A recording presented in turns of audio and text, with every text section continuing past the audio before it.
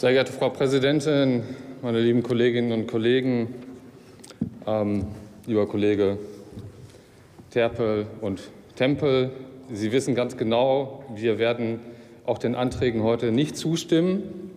Das ist so, wenn man in einer Koalition sitzt und vertragstreu auch ist. Deshalb wird es da auf jeden Fall ähm, keine andere Entscheidung auch von uns geben. Ich möchte aber deutlich machen, auf welchem Weg ich mich eigentlich in den letzten drei Jahren befunden habe, mit welchen Fragen ich mich auseinandergesetzt habe und zu welchem Ergebnis ich persönlich da an der Stelle eben auch komme und wofür ich auch werbe. Und man muss sich die Fragen eben auch stellen, warum Handlungsoptionen im Bereich der Cannabispolitik auch notwendig sind. Weil wir wissen, weil trotz Verbotes Millionen von Menschen in Deutschland eben Cannabis konsumieren, weil darunter leider auch viele Jugendliche sind, weil Cannabis dann entweder verbotenerweise angebaut wird oder es sich die Menschen in Deutschland auf dem Schwarzmarkt besorgen. Und weil diese Menschen keine Kriminellen sind, in der Regel stehen sie fest im Leben, sie erfüllen ihre Aufgabe, belästigen niemanden, bedrängen niemanden und sind sonst wie auch nicht gewalttätig. Kiffer sind halt nicht die langhaarigen Ökos, die mit verfilzter Mähne ungewaschen auf der Couch liegen und sich nicht mehr bewegen können, um den Schauspieler Moritz Bleibtreu zu zitieren, der vor wenigen Tagen eben in der Sonntagsausgabe der Zeitung mit den vier großen Buchstaben dazu auch Stellung bezogen hat.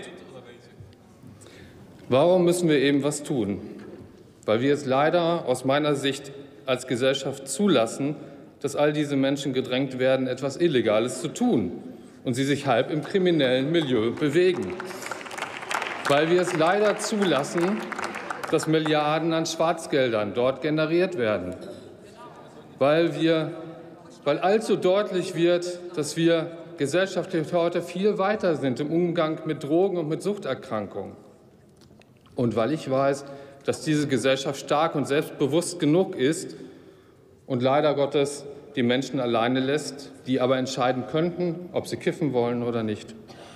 Und Moritz bleibt treu, sagt wie viele Menschen in Deutschland auch, ich zitiere nochmal, ich halte eine Liberalisierung der Cannabispolitik definitiv für den gesünderen Weg, mit der Droge umzugehen.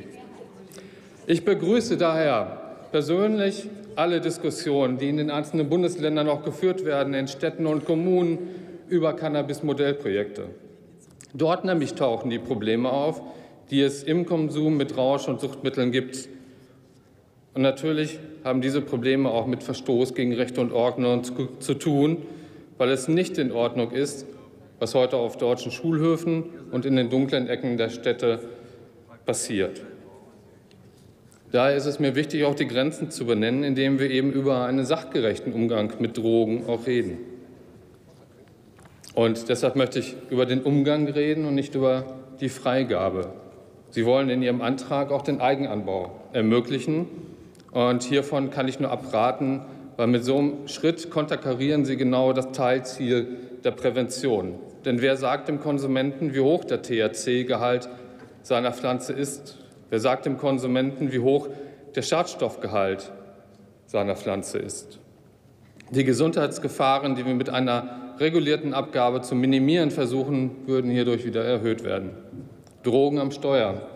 Auch hier teile ich, dass Verbesserungen nötig sind, ganz klar. Es darf nicht sein, dass das bloße Mitführen von geringen Mengen einer berauschenden Substanz, wie zum Beispiel Cannabis, zum Verlust der Fahrerlaubnis führt. Alkohol am Steuer aber mit Grenzwert versehen wird. Trotzdem sehe ich auch dort in Ihrem Antrag die Ausweitung auf alle Suchtstoffe eher problematisch an. Das wirft noch weitere nicht zu lösende juristische und ordnungspolitische Fragen auf. Deshalb wie gehen wir mit diesem Antrag um, mit beiden Anträgen auch um? Wir werden heute ablehnen. Wir wissen aber ganz genau, Anträge brauchen Mehrheiten, gesellschaftliche Mehrheiten. Und diese notwendigen Mehrheiten führt man eben nicht herbei, indem man permanent immer das Gleiche dann auch vorliegt und wir uns immer permanent über das Gleiche auch unterhalten müssen. Ich plädiere eher dafür, diese Aufbruchstimmung, die wir in den Städten und in den Kommunen auch tatsächlich haben, dass wir diese nutzen, dass wir dort Voraussetzungen schaffen, damit wir auf Bundesebene in der nächsten Legislaturperiode die notwendigen Voraussetzungen eben auch schaffen können, dass diese Modellprojekte auf den Weg gebracht werden können. Wir sollten auch gleichzeitig den Austausch mit den Bundesländern suchen, um neue Wege in der Drogenpolitik eben zu gehen. Und ich denke, dass wir diesen Punkt auch hier ganz klar benennen müssen. Es ist nicht nur die Bundesseite, die dort liefern kann.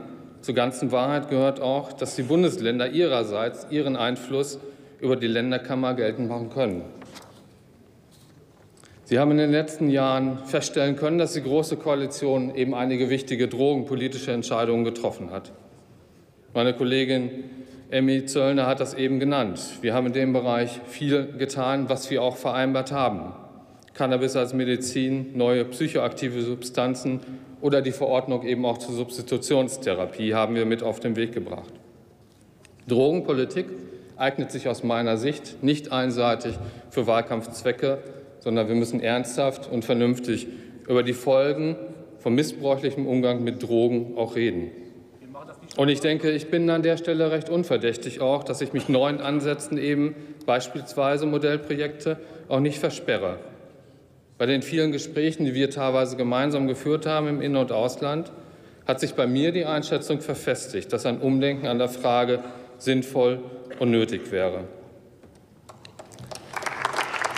Und ich bin zuversichtlich, dass wir das in der nächsten Legislaturperiode auch schaffen werden. Ich möchte noch einen Staatsrechtler zitieren, Gustav Radbruch, der war in der Weimarer Republik schon ein Rechtspolitiker der Sozialdemokratie. Und er sagte, in der deutschen Politik geschieht das Vernünftige nicht, weil es vernünftig ist, sondern erst, wenn gar nichts anderes mehr übrig bleibt, als das Vernünftige zu tun. In diesem Sinne vielen Dank. Vielen Dank.